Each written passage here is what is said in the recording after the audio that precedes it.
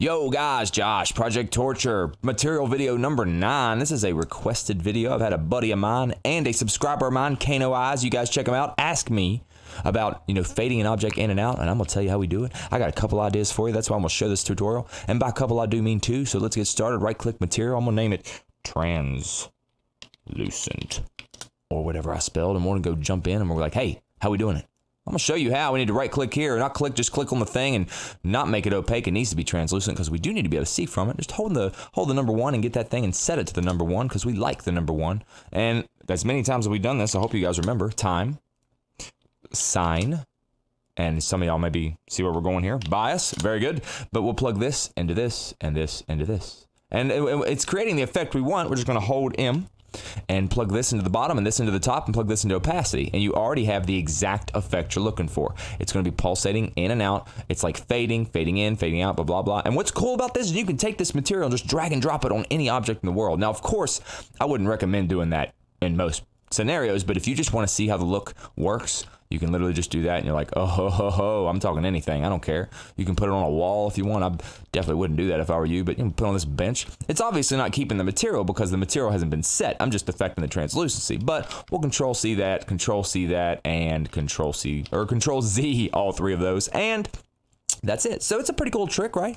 Well, you may want to affect that in blueprints, and I understand, but we need a parameter so we can pull it in there. And since we only need a 1 instead of a 3, or A4.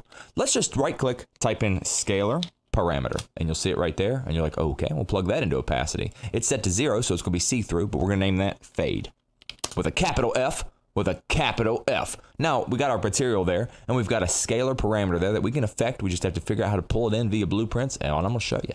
So we need to create a blueprint, but I wanna be able to use one of these things. So I'm gonna right click on it and find it in my content browser right here. I found it in the props, um, the props folder here, where the Unreal gives you some stuff to play with. These are one of their items. I'm gonna right click on that thing though and go to Asset Actions and create a blueprint using that. Set it in the content folder, add a BP to it, so I know it's my blueprint, and I'll save that and be done, and it'll open it. So here's the cool part. I'm gonna go ahead and get back out of here, go to this main tab, go to the content, and drag one of my things out here. So it looks just like the other guys. Size him up, make him pretty, so he's not jealous. Because if he's all tiny, yeah, whatever. But anyway, we'll go back to him, and we're affecting him right here. And we'll go to his event graph, and here we go. Let's get started.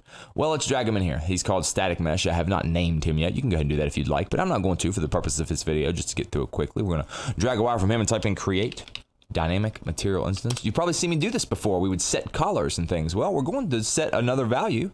It's just going to be that opacity value. So it, it was called uh, what? Translucent? Uh-huh. There it is right there. Drag a wire the blue one here and type in, instead of set vector parameter value like we've done before, type in set scalar parameter value. You, know, you get what I'm saying? Like it's just exactly what you're doing. Like type in the word fade with a capital F with a capital F. Okay, but anyway, we need timeline because like now you could just set at the beginning of the game, it's just gonna go bam. What do you want it to be? One being completely full or zero being see-through completely? Well, we don't know yet. We want it to you know toggle back and forth, kind of like you were saying, do the basically the same thing the uh, material was doing. So check it out. Even though it seems simpler in the material, you you have a lot more flow here. You have a lot more things you can play with. Drag that into play from start and drag update into that. Okay. Now we just need a float output to go into this float input. So create a float track. We'll make it uh, 0.5 seconds long because we are we just we're quick. We are so fast. Zero and zero, holding shift. I apologize and creating a dot, creating a creating a timeline little node there, and uh, zero and zero for the first one. We're going to do it again, and we're going to type it at uh, 0.25 for the for the time, and then all the way up to one for the power and then back to 0.5 at the end of our timeline there and we'll put it back to zero. Now you can't see nothing, just drag these two and adjust your resolution. Drag a box, right click, make it auto because I like the blending, I like the curving, I like the I like that line. It makes me feel strange. I'm gonna close this one and now I got the, the output here, the input there, and I plug them in and now I've got everything set up. So basically at beginning of game, it's gonna create a dynamic material instance of translucent and it's or the translucent, eh, which is the name of the material, and then it's going to set a timeline to adjust this, but I need to double click on here and set it to looping so it does it forever. And now we can go back and there it is. And let's F11 and Alt P and go see if it's doing it. Oh, you see it over there? That is my blueprint.